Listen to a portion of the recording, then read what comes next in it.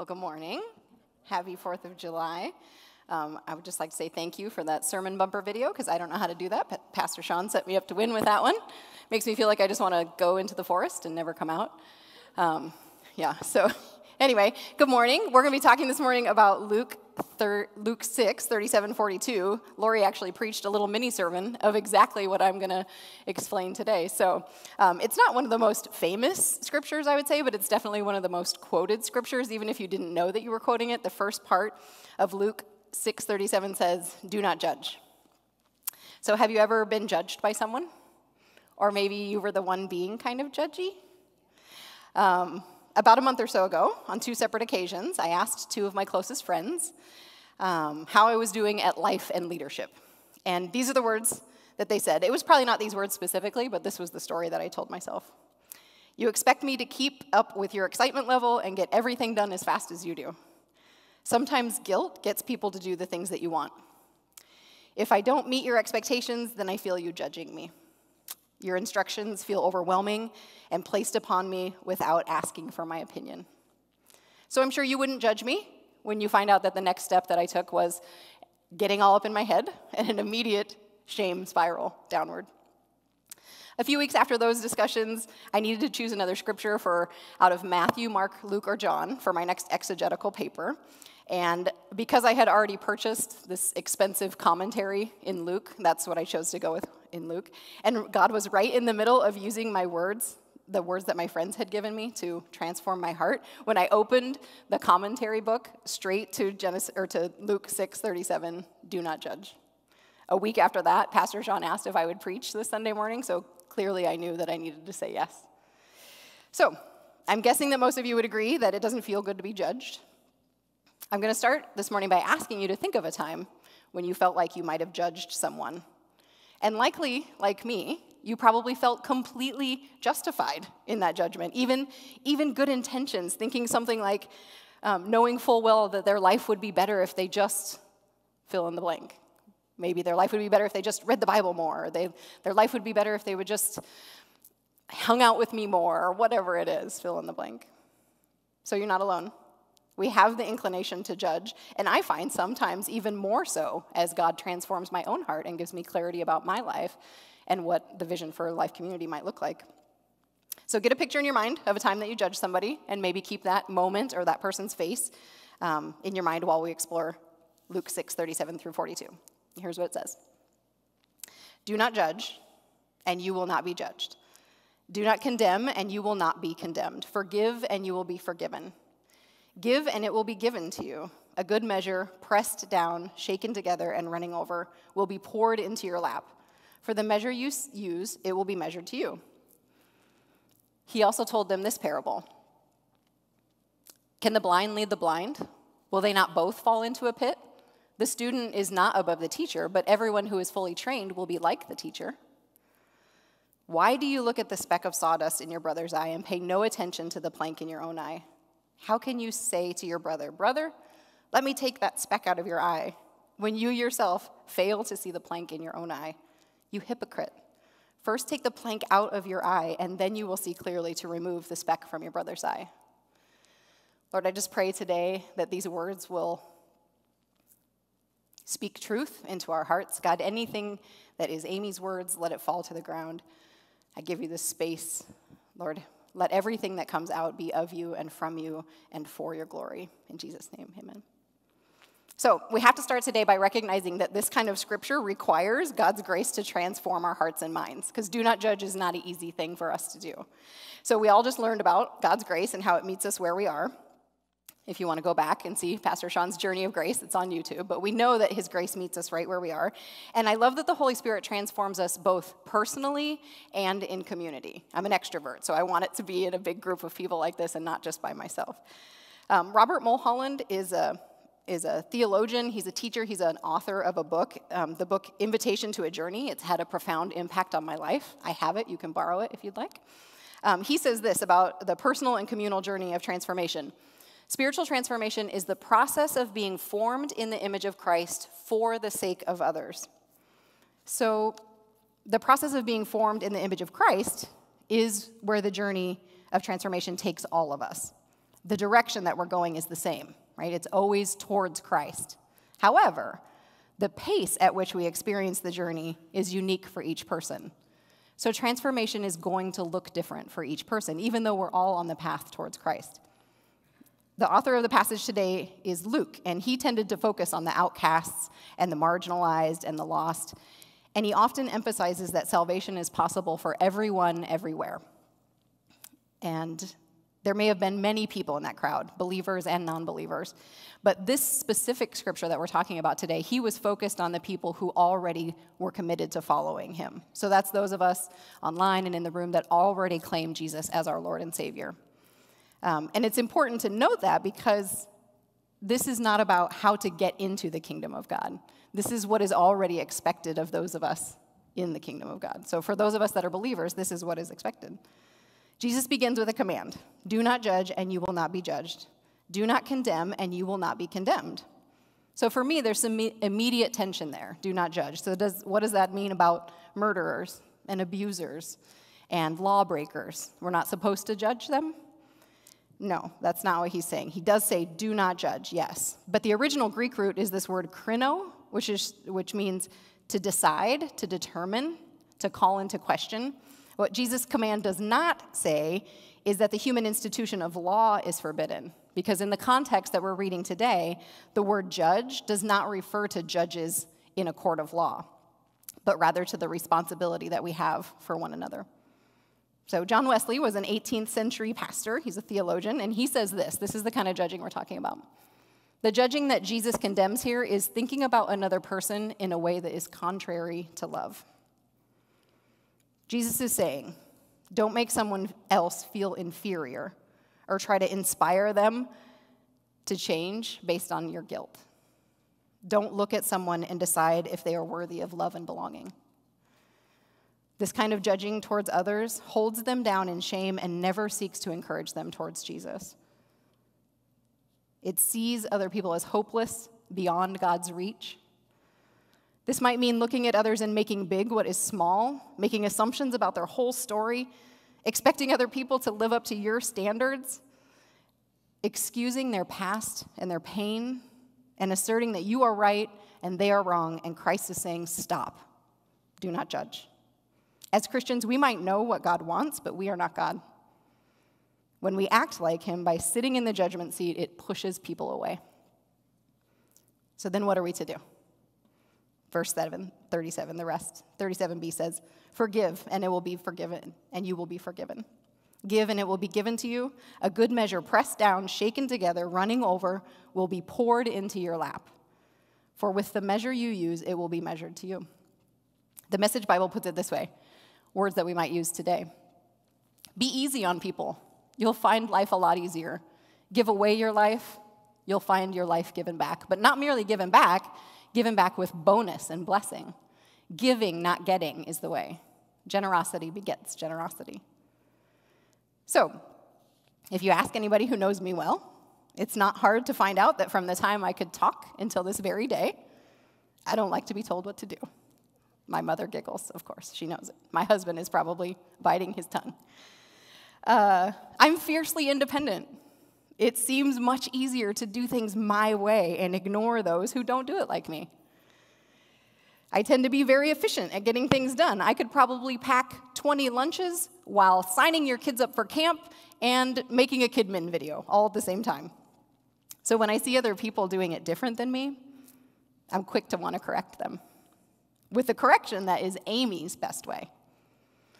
Not considering what is best for them, or the value that their way might bring to my life. God has blessed me with the ability to see how things could be and then inspire others to create goals and work towards them in hope, faith, and confidence. It's my job and my passion to lead people towards their purpose in Christ.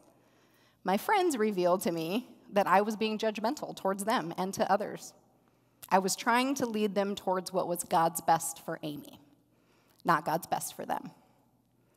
It was painful to hear, but it helped me realize that I was using my God given talent and leadership in leadership to steamroll creative ideas, to judge their unique strategies, and use guilt to get people to do it my way.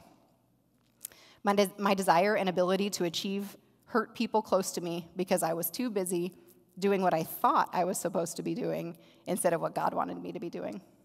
God's grace is transforming me every day that I spend time alone with Him. He also uses some of my closest friends to teach me how to slow down, offer grace, patiently come alongside people while they work through their things. The unspoken message of the heart at the heart of Jesus' negative command, do not judge, is the oft repeated positive command, love one another. So is Jesus then telling us to never have a hard conversation about right from wrong, to have no moral compass at all? No. Our culture teaches us that the world is either A or B. I'm guilty of thinking that my way is better, so your way must be wrong. We live in a judgmental culture that will cancel you quick as can be if you say something that others perceive as wrong. If we skip to verses 41 and 42, Jesus actually uses some humor to exaggerate the importance of self awareness and transformation so that we are then able to help others connect to Jesus and his ways with love and humility instead of this selfish my way or the highway style. So let's look at this next slide. Again, why do you look at the speck of sawdust in your brother's eye and pay no attention to the plank in your own eye? How can you say to your brother, Brother, let me take this speck out of your eye when you yourself fail to see the plank in your own eye? You hypocrite. First take the plank out of your eye, and then you will see clearly to remove the plank from your brother's eye. So, uh, we're going to use some humor, just like Jesus did, to uh, explain what this looks like in real time. Um, you don't have to raise your hands, but can you think of a time when you might have exaggerated somebody else's faults or sins while minimizing your own? Uh, sometimes, like complaining about somebody who's on your tail, um, but then you race up to the car in front of you and then you blame them for being too slow. It's like we, we, we exaggerate other people's flaws, but we minimize our own. So I thought we might use a little bit of humor this morning to illustrate this for you. I've asked my good friend Chris Skaggs, who knows a lot about specks and logs and pieces of wood, and his sons, um, to show you what this might have looked like in Jesus' day with Jesus' wording. So here in my hand, I have a tiny little speck. Most of you probably can't even see it. I don't know if you can see it online. It's a tiny little speck. And um, a little piece of sawdust. Chris Skaggs calls, he calls sawdust man glitter. So I have a little tiny piece of man glitter in my hand right here. And uh, this, this morning, represents the sin in my life, okay? Now, when we hear the word plank, which is going to represent or illustrate the sin in Chris's life this morning, when we hear this word plank, we probably often think of something simple like a two by four. right? This is, a, this is what I think of. I picture things when I think them. Thanks, Trevor. Um, maybe if you build things often or you're thinking really crazy today, you might even think plank as big of like something like this. Maybe a four by eight, right? We might go this big. Thanks, Trenton. However, the word Jesus used is better defined like this a beam, a joist, a huge log. Okay? This is a little bit more like what Jesus was talking about. So, here's this sin in my life. Here's this sin in Chris's life. And watch as we demonstrate how ridiculous it would be for Chris to help me remove this speck while he's carrying around this gigantic log. Let's do it.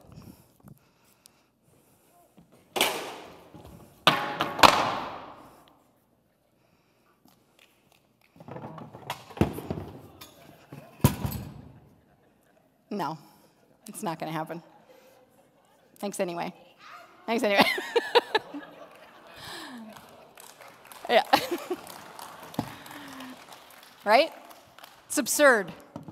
It's absurd to think that that would help. How can you say to your brother, Brother, let me take the speck out of your eye when you fail to see the plank that's in your own eye? You hypocrite. First, take the plank out of your eye, then you will see clearly to remove the speck from your brother's eye. I think Jesus is explaining two important things this morning. Number one, both parties have something obstructing their view. The point is not that Chris had a giant log and I had a tiny speck. Even though Jesus did exaggerate to get his point across, the point is that we both have something in our eyes. We have all sinned. Pastor Sean recently said it this way sin levels the playing field. We all started our stories with the lyrics of Amazing Grace I once was lost, now I'm found, was blind, but now I see. We're on the same page, in need of grace and forgiveness. Jesus' command not to judge is a call for me to be aware of my own blindness. To do that, I have to ask myself Am I listening and cooperating with where the Holy Spirit is working in my heart? Carrying a log around every day is uncomfortable. Ask Chris Skaggs how hard that job is every day. Having a speck in your eye is uncomfortable. Ask Chris about it. He comes home every day with specks in his eyes. We can get used to carrying the log around and the speck in our eye, and we can make, even start making excuses for why it's there. That's just how I'm wired. I've always been carrying this log. I don't know any other way. We tell people the log isn't heavy and we say that the speck doesn't hurt because we have no picture of what life without it might look like. So we believe the lie that the discomfort that they cause will never end. Transformation is uncomfortable too, but it leads to abundant life free from heavy logs and irritating specks. So, which discomfort will you choose? Our desire to be transformed has to be greater than our desire to keep carrying that log around with us. Are we listening and believing what God is saying about who we are, allowing grace to transform us into who we're becoming? If we have not acknowledged the log in our eye, admitted it to Christ, asked for forgiveness, then we're not ready to help other people remove the speck from their eyes. Every effort that we make will end up hurting and not healing. God will let us keep our logs. It's a hard thought. He will let us keep them. We can choose to never deal with the pain and discomfort that is inevitable when you have a foreign object in your eye. We can ignore our sin and refuse to repent and align our behaviors with Christ. But if a tiny speck of wood in my eye can be painful and cause danger, how much more so is the unresolved sin in my life? As long as we ignore what is in our eye, it doesn't matter who we help, we will always approach them from our place of pain, self righteousness, ego, and self preservation. As Chris stepped closer to me to remove the speck, help me take this speck out, he started taking out everything in his path. He could have even taken out my good eye with his log, the one eye that I can see out of. The unresolved sin that we choose to carry around, it will hit people in the face every time. Judged people judge people. Hurting people hurt people but forgiven people forgive people. Do you want to experience God's transformation in your life? Then we have to be open to the fact that God is still doing a work in every one of us. Ask yourself, what's obstructing my view? If you can't see the log in your eye and you want to know what's blinding you, ask a friend, ask the people that you trust. Create a safe and vulnerable place where they have your permission to answer honestly. I was telling you earlier that I had asked a couple of my friends about my logs and specks, and I was pretty confident that I would get only positive feedback. I really didn't think I was blind anywhere. This is how I say it What's it like on the other side of me? What's it like on the other side of my leadership? What's it like on the other side of my friendship? I would never sit here and pretend like this is an easy question to ask or an easy question to answer. But I asked them to tell me the truth and I desperately wanted to know where I was blind. Their answers were gut wrenching to hear. Transformation is not easy. I could have chosen to stay in the shame spiral and believe the whispers You're not good enough. You heard God wrong. You're not worthy of this role. Instead, the Holy Spirit used the pain from my speck and the words of my friends to begin to transform my heart once again. I know my friends love me. I asked them to be honest. I even prepared them a week in advance so that they could pray about what they were going to say. God's grace in their lives allowed me to speak them to speak the truth in love, and I had asked them for it anyway. This is why we value personal connection at Life Community Church because everything changes when it's someone you know, and it's why we value growth because healthy things grow. It's why it's so important to engage in a faith community. I recognize that not all of you might have somebody to ask about your specks and logs, but you can. You can start doing life with people that you trust and people that you feel safe with to be honest and vulnerable. There's a connect card right next to you somewhere. There's a connect link online. We have life groups. We have discipleship groups. We have mentors. We have Bible studies. You can ga- engage with people that you can start building that trust. God is faithful, and in your solitude with Him, He will show you the places in your life that need some tree removal, if you let Him. Then you will begin to see clearly enough to help someone else with the speck in their eye. So, this is the second thing that Jesus is teaching us this morning. When we are seeing more clearly, we become compelled to move towards others in humility. I just want to note it's when we see more clearly, not perfectly, just more clearly. Because I'm not perfect, I still have specks and logs in my eye, but I continue moving towards Christ every day. So, within your circles of trust, those people that you love, that you do life with, that you grow with, don't ignore the pain in their eyes. Jesus' point here is that we all have stuff specks or logs. We are all in need of grace and forgiveness. Remember that the person that you're seeking to help is just like you. Raise your hand if you have ever had a little speck in your eye. Almost everybody. Online, have you ever had a little speck in your eye? Sean's watching, give a little emoji, hands up. So, so just name some of the things that you might do right after that happens. That speck hits your eye, what do you do? Touch it. What else? Cry. Yeah, cry. That's a good one. I get really close to the mirror. If I can't see it myself, I might run over to Steve. Steve, what is in my eye? This is hurting. Is this what you do, Chris? He comes home, Joanne, there's a thing in my eye. Can you get it out? Right? We ask someone to look. We might put drops in it, crying, right? If Francie has something in her eye, I cannot squirt Visine from here. It's not going to work, right? I have to get all up in her business. I'd get really close to her face. I have to stick my finger in her eye. Yeah, ouch. Anyway, we have to get close. I have to have a personal connection with her. It's highly unlikely that a complete stranger would walk up to me and be like, hey, can you stick your finger in one of the most sensitive places of my body? Right? That's probably not, I mean, unless it's an emergency. That's very unlikely to happen. No, I will tell you, I can mess with Steve's eye, even though it terrifies him. He can't even watch me put contacts in. But he'll let me do it. Why? Because we've built 22 years of trust and love with each other. I'm pretty certain that Lysandra Trine would let me remove a speck from her eye, but we've spent seven years praying together and eating meals together and crying and praying together. I have a personal connection with him. I have built relational credibility. So we have to get close and be gentle with their eyes. Forcing our way into a sensitive area of one's life does not lead them to Christ. Our responsibility is not to get them to act a certain way, but rather to connect them to Christ. At Life Community Church, we long to connect people to Jesus and their life's purpose. Why? Because He transforms them, not us. He does the work, His grace does the work. As much as I want to believe that my striving will do it, it doesn't. So Jesus is saying two things. Both parties have something obstructing their view. And when we begin to see more clearly, we become compelled to move towards others in humility. So, where are you today? Maybe you don't have any friends close enough to ask about the log.